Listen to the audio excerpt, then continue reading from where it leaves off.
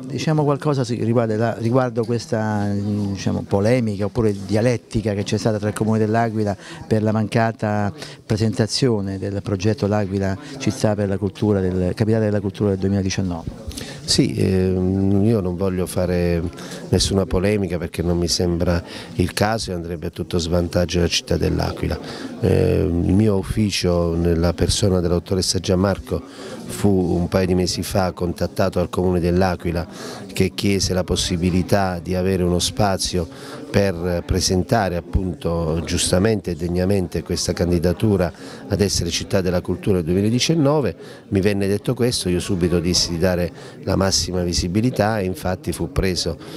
preso un'ora centrale come quella delle 5 di pomeriggio, la giornata di domenica che è la giornata di maggior afflusso insieme al sabato, rimanemmo d'accordo e si doveva fare questa presentazione. Mo, al di là se io ero o non ero presente, oltretutto ero malato e ci sono le prove, io penso che la Regione abbia dato la massima visibilità a Città dell'Acqua, tant'è che è stato inserito anche negli opuscoli che abbiamo distribuito all'Universo Mondo quindi poi era il comune che doveva essere lì presente, non so, rappresentato da chi, se dal sindaco o da chi per lui, per presentare appunto in questa kermesse eh, nazionale la candidatura alla città dell'Acqua. So soltanto che questa ora è andata a buca e abbiamo rimediato diversamente, né più né meno.